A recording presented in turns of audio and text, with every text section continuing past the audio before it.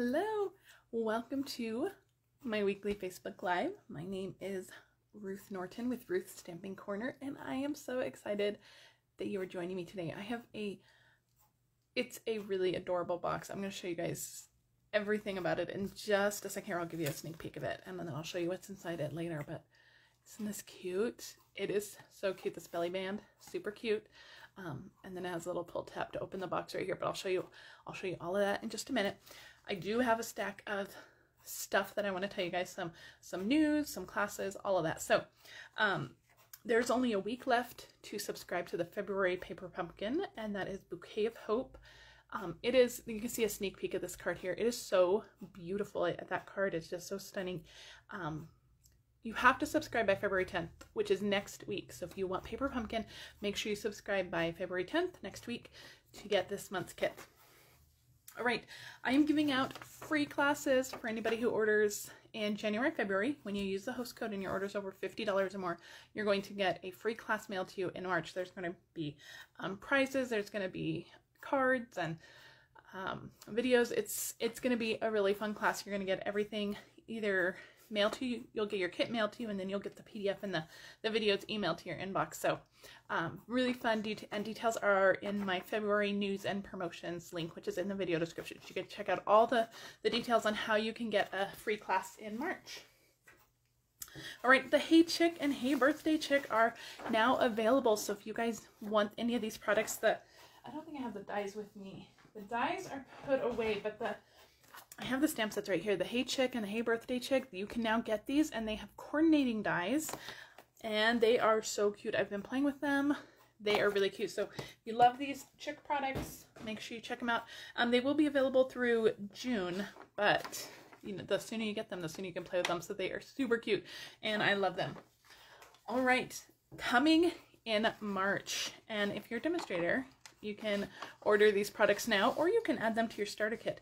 This is the butterfly bouquet and the products are stunning. So there's a bundle. You get the stamp set and dies. There's the bundle.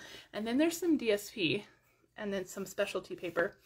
Um, the DSP and the specialty paper are only available during the promotion or while supplies last.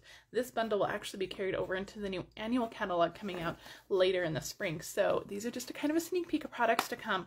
Um, but then again, these are these two are exclusive. So, um, but if you love these products, you can get these in March or you can join my team this month, take advantage of that amazing Sale-a-Bration starter kit deal, and you can add these products in your starter kit. So if you're interested in um, getting these products now or in February um, and then earning a discount on all of your other purchases, let me know. I'd love to talk to you about joining my team. Okay? All right, I have a class sign up going on right now. My February card crate features the In Bloom bundle. So that is this bundle. This is what my February card crate bundle is focused on, the In Bloom bundle. And this is the bundle we're actually using today for our project. So we put that aside. I'll give you a quick sneak peek of the cards. They are beautiful cards. So if you want to join February's card crate, all the information is in the video description. You can click that link and um, get all the details on card crate. The sign up for Card Crate is through February 12th, so you have about a week and a half left for that. Okay, guys, these colors, these are our retiring colors. Now, these colors will go away, go away um, when the new catalog comes out. And the new catalog um, is supposed to be released May this year, so it's going to be a month earlier. And these colors will be retiring. So you have Purple Posy, Seaside Spray, Pretty Peacock, Rococo Rose, and Terracotta Tile if these are colors you love, you need to stock up on these products. And there's no better time to stock up on them than during Sale-a-Bration when you can earn free stuff as well. Um, so you want to stock up on your paper, your inks, your markers, all of that stuff because once these colors retire, you won't be able to get that stuff. So if you love these colors, if these are some of your go-to colors, you might want to start stocking up on these colors. Okay, you guys ready for the box? It's so cute. So this is what we're making. Isn't that cute? It says, congrats, you're so fancy now, which I just love. It's such a cute little saying. This is, again, from that In Bloom stamp set. And the dies, hope you guys can see all that stitch detail in all the dies. They are gorgeous. So let me show you what's in the box, and then we'll get to making it. So the belly band slides right off, and then inside the box, you just lift the little tab. And there's a little bottle of wine in there. Isn't that cute? So these are the little, um, I don't know how big these are. These are not that big, like one or two servings. But um, I think they come in a four pack. But they are so cute and they fit inside this little box perfectly. You could even put some tissue paper or something in there if you really wanted to fancy it up. It fits inside the box perfectly. And then the little tabs all get tucked in. And then you can just slide your belly band right on. Isn't that cute? Wouldn't this be a really cute gift? You could do this for maybe an engagement gift or something. You can even match it for colors. You can do an anniversary gift or somebody maybe just got a big promotion. But isn't that cute? It's so cute. I love it. Now, um, I will say, you guys, this is tem or trial box number three. I worked for hours on Monday coming up with a really cute box. So I hope you guys really like this one because the first two were pretty failed attempts. So this is one I finally settled on and I love it. It's so cute. So, so let's make it. So we're going to start with the box. We put that out of the way. We're going to need our Simply Scored, of course. Now to make the box, you need two pieces of cardstock. Um, I'm using Night of Navy for mine. So let me grab all my supplies. So my first piece of Night of Navy is 10 and a quarter by six. And on this piece, we're going to score it at two inches on all four sides. So I'm going to score it two inches. I'm going to rotate it, score it two inches, rotate, two, rotate, and at two. Okay? So that is, this is going to be the base of our box. So 10 and a quarter by six, score two inches on all four sides. And I will have all the dimensions in the in my blog post tomorrow, and I will try to remember to put them in the video description when I'm done. So that's piece number one. That's going to be our box. Now piece number two is the is the flap that that opens, that pulls out from the front. And this piece is nine by three and a half. And on the three and a half inch side, we're going to score at three quarters of an inch on each side. So I'm going to score at three quarters of an inch, and I'm going to turn it around, and I'm going to score the other side at three quarters of an inch. So we have three quarters of an inch on either side. Now on the nine inch side, we are going to score at two and at eight and a quarter. Okay, so that's all the scoring. So no, no weird score lines, nothing funny with this box. You just need two pieces of paper. Okay. Now we're gonna do a little bit of trimming. So let's get out our bone folder and our scissors. And we're going to start with the bottom of our box. And we are just going to burnish on all of those score lines. And we're going to do some trimming. So on the, the short sides, I'm going to cut straight up on that score line on either side. And I'm actually just going to kind of take out that score line. So I'm just notching in just a little bit. I'm just kind of cutting out the score line because that will help our box go together. So let me kind of fold that up so I can get into the score line here. Okay, so we're just going to take out those score lines and then I'm going to grab some big scissors so I can do this in, in one motion, but I'm just going to cut off the corners.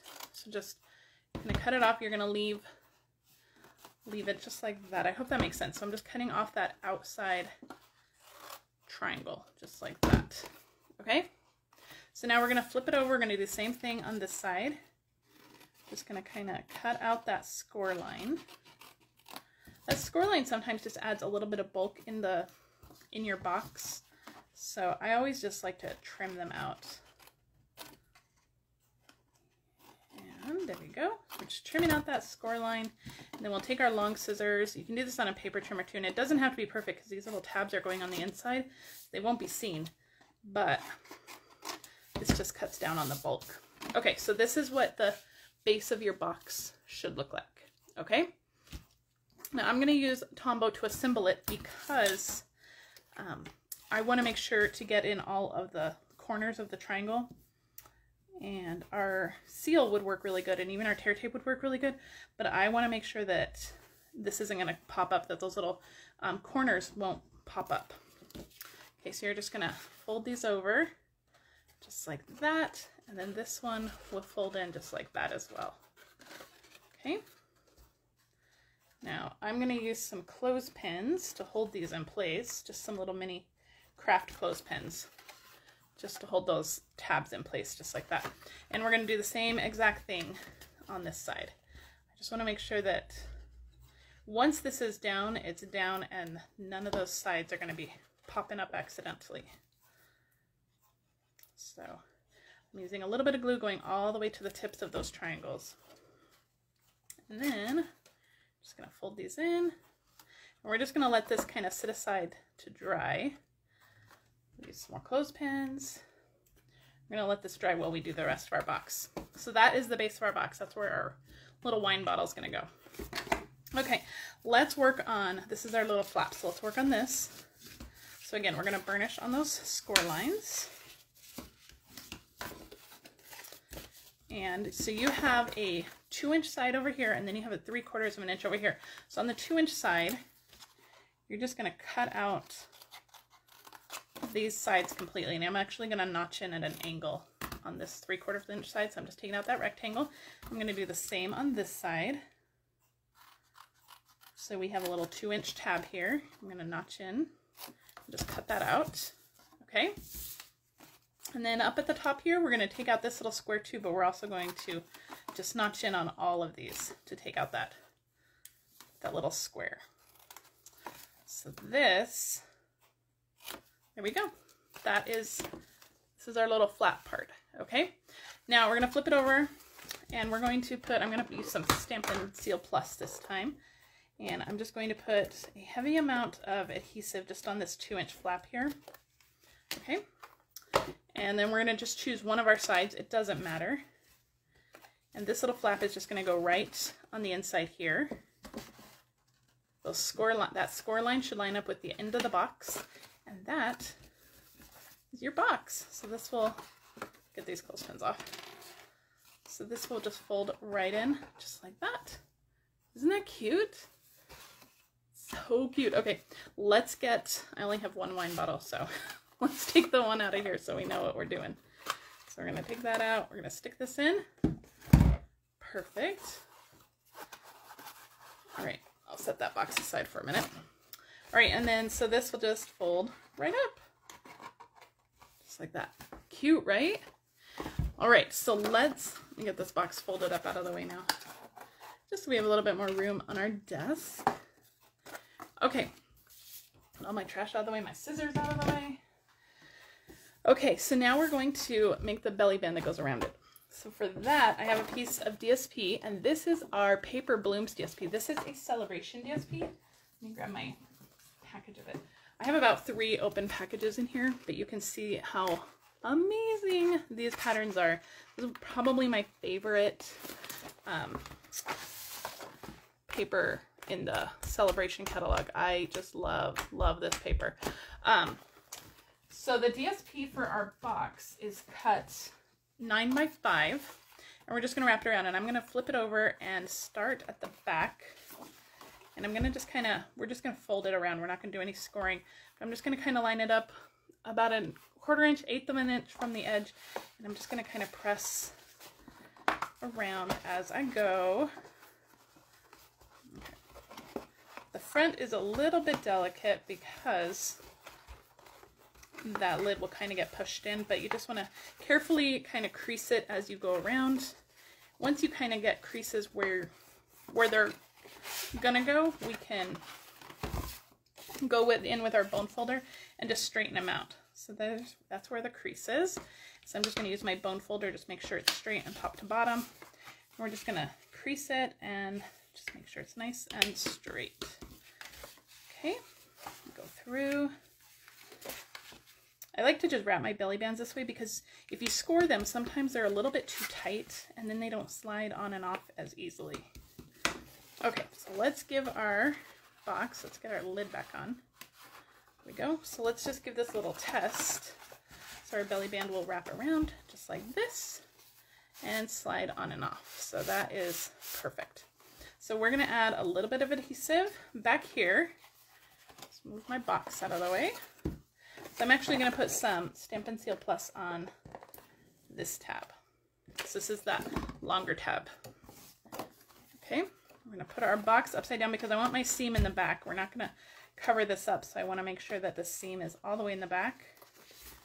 Just make sure that it's nice and straight, just like that. And there you go. There's the belly band. Isn't it cute? So it'll slide on and off. We do have to do one more thing to our box before we decorate the belly band. This is our, our lid. So I want to, where's my ribbon? I wanted to add a little pull tab, so I'm going to use this the ribbon. This is our Petal Pink Organdy Striped ribbon. I just have like two inches here, and I'm going to grab my stapler and take my wine out real quick. And I'm just going to fold it in half, and on this little tab, so I'm going to put the, the rough ends facing in. This is that 3 quarters of an inch tab right here. I'm just going to staple that on. Just one on each side just like that. And that will, that will give us a nice little pull tab so it's easier to open and close our box. Okay? All right, so that is the stapler out of the way. So we'll put our belly band back on. And there we go. So just slide that up a little bit. There we go. Perfect. All right, so let's do our decorations. So this is this is what we're going for. This is our cute decorations. Like I said, we're using that In Bloom bundle, which I'm featuring in my card crate this month. So if you want to get it, you can check out all the details on card crate. Now I've already done all of the pre-die cutting, pre-embossing, all of it. So for our um, little label piece, I have a the Label Me Lovely punch, which I've punched from our Rococo Rose. Remember, that's one of our retiring colors. And then from the Layering Circles dies, this is a great die set. If you don't have the Layering Circles, make sure this is in your your stash. It's a good staple to have. I have a scallop Night of Navy, and then I have a one of the smaller circles from Petal Pink that I have also embossed with the Ornate Floral embossing folder. So lots of beautiful detail on that. Okay, these are going to get stuck together. I'm just going to use my Stampin' Seal for these. All three of these are going to get layered up. And I just love that little scallop right outside of that that petal pink. And then this will just go right onto our Label Me Lovely punch. There we go. Isn't that cute? All right. A couple more things. We're going to do some stamping and then we're going to assemble all of our flowers. So from that stamp set, from the In Bloom stamp set, I'm going to use Rococo Rose ink. I'm going to use that Congrats, You're So Fancy Now. And I'm just going to stamp that. Oh, let's try that again. I should be using my foam mat. There we go. Congrats, you're so fancy now. And we're just going to trim that out just a little bit. So I'm going to grab my, my cutter, trim that down, and just trim that right up to the words right there. All right. Now you could use your banner punch. I forgot to grab mine, so I'm just going to use my scissors and just make a little flagged in here. You could also use your tailored tag punch. That would also work. Or you can just use your scissors. That's how we used to do it before we had all these fancy punches that did it for us. So there you go. Now for all of our flowers, I've already die cut them from those Pierced Blooms dies. I didn't want to lose them, so I had to put them in that little cup. So I have just a couple of leaves. I love these dies. So we're going to put some of these flowers together. So I have some Rococo Rose flowers, some Night of Navy flowers, some Merry Merlot flowers, and a Petal Pink flowers. So in the center of my Petal Pink flower, I'm going to do a Merry Merlot center. And then I'm going to stack these Rococo Rose flowers up and just kind of stagger them. Just kind of make it a fuller looking flower. And then we'll put the center. I'm going to grab my take your pick tool. These are kind of small pieces, so the take your pick tool is perfect for that. Okay, so that is all of our flower pieces. So let's get to assembling our little piece here. So I'm going to start with my greeting. That's going to, I'm just doing some dimensionals in the middle. And that's going to go right onto our little label here that we've made. And I'm also going to use some dimensionals for my Rococo Rose flower and my Petal Pink flower. So I'm just trimming off some of the edge pieces of those. Stick one there. This will go right above that, kind of in the center. On our Petal Pink one, it will go right to the left of that one. Of course, you can arrange your flowers anyway. You don't have to do it the way I'm doing it. Now for the rest of the flowers, I'm just going to use my um, Tombow adhesive, or you could use um, glue dots. I'm just going to stick my leaves down. I'm going to stick one leaf here. The Pierced Blooms dies, I love, love, love. They come with four different shape leaves, so you can do all of the leaves the same, or you can choose a couple of different leaves. You know, leaves are not the same in nature. They're all different.